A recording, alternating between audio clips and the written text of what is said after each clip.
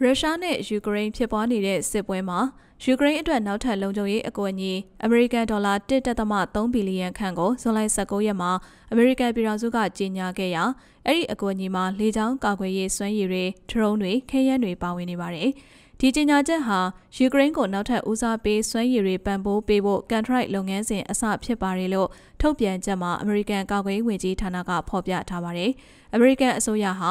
ယူကရိန်းလုံခြုံရေးအကူအညီအစီအစဉ် USAI ကနေရမုံငွေတွေကိုအသုံးပြုနေတာဖြစ်ပါတယ်။ဒီအစီအစဉ်အရသမရဂျိုးဘိုင်ဒန်ရဲ့အစိုးရဟာလက်နက်တွေကိုအမေရိကန်လက်နက်တူလောင်ယုံတွေကရယူတာမဟုတ်ဘဲလက်နက်လုပ်ငန်းနယ်ပယ်တွေထံကဝယ်ယူခွင့်ရရှိထားတာဖြစ်ပါတယ်။အခုအစီအစဉ်မှာ National Advanced Surface to Air Missile System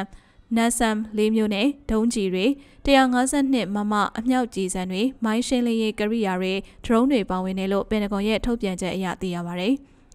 ယူကရိန်းနယ်မြေတွေကိုသိမ်းပိုက်ထားတဲ့ရုရှားတပ်တွေကိုယူကရိန်းတပ်ဖွဲ့တွေကတံပြန်ထိုးစစ်ဆင်နေတဲ့အနေအထားမှာယူကရိန်းကိုအကွက်ကြီးပေးနေတဲ့မဟာမိတ်နိုင်ငံတွေနဲ့ဖွဲ့စည်းထားတဲ့ Ukraine Defense Contact Group ရဲ့ online အစည်းအဝေးအပြီးတရက်အကြာမှာအမေရိကန်ကာကွယ်ရေးဝန်ကြီးဌာနကအထက်ပါအကွက်ကြီးကိုကြေညာလိုက်တာဖြစ်ပါတယ်။အဆိုပါလက်နက်တွေနဲ့ကာကွယ်ရေးစနစ်တွေပေးပို့မှုဟာရင်းနှုတ်ကိုရရှိနိုင်မှုနဲ့ထုတ်လုပ်မှုအချိန်စရာပေါ်မှုတည်နေတယ်လို့ဆိုပါတယ်။ အမေရိကန်ကာကွယ်ရေးဝန်ကြီးဌာနဟာ2023ဘဏ္ဍာရေးနှစ်မှာ USAI အရယူကရိန်းအတွက်လုံခြုံရေးအကူအညီအမေရိကန်ဒေါ်လာ10.8ဘီလီယံကျော်ပံ့ပိုးပေးထားပါတယ်။အခုစီစဉ်ထားတဲ့ပံ့ပိုးမှုဟာအထမအကြိမ်မြောက်ပံ့ပိုးမှုဖြစ်လာမှာဖြစ်ပါတယ်။2022ခုနှစ်စက်တဘာ30မှာအဆုံးသတ်တဲ့ဘဏ္ဍာရေးနှစ်မှာအမေရိကန်ဟာယူကရိန်းကာကွယ်ရေးအတွက်ဝယ်ယူရမှာ USAI ရန်ပုံငွေတွေကအမေရိကန်ဒေါ်လာ6.3ဘီလီယံသုံးစွဲထားပါတယ်။အားလုံးပေါင်းလိုက်ပါက 2022ခုနှစ်ဖေဖော်ဝါရီ24ရက်မှာရုရှားကျူးကျော်ခဲ့ပြီးနောက်ပိုင်းအမေရိကန်ဟာ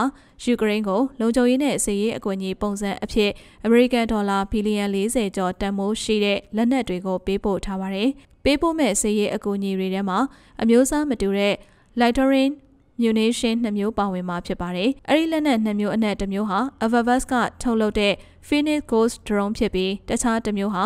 Aerovironment ကထုတ်လုပ်တဲ့ Switchblade ဖြစ်ပါတယ်။ Avavas ဟာကယ်လီဖိုးနီးယားအခြေစိုက်ပုဂ္ဂလိကကုမ္ပဏီဖြစ်ပါတယ်။အခုလအစောပိုင်းမှာအမေရိကန်ပြည်ထောင်စုက Cluster Munitions တွေယူကရိန်းထံပေးပို့မယ်လို့ပြောကြားခဲ့ပါတယ်။နိုင်ငံတရာကျော်က Cluster Munition တွေကိုပိတ်ပင်ထားပါတယ်။ဂျာမနီ၊ကနေဒါတို့အပါအဝင်လူအခွင့်အရေးအုပ်စုတွေနဲ့အမေရိကန်မဟာမိတ်နိုင်ငံတချို့ကယူကရိန်းထံ Cluster Munition တွေပေးပို့တဲ့ဆုံးဖြတ်ချက်ကိုဆန့်ကျင်ခဲ့ကြပါတယ်။ရုရှားအမေရိကန်ယူကရိန်းတို့ဟာ ကလစတာမြူနီရှင်ကိုပိတ်ပင်တဲ့နိုင်ငံတွေထဲမှာပါဝင်ခြင်းမရှိတဲ့နိုင်ငံတွေဖြစ်ပါတယ်။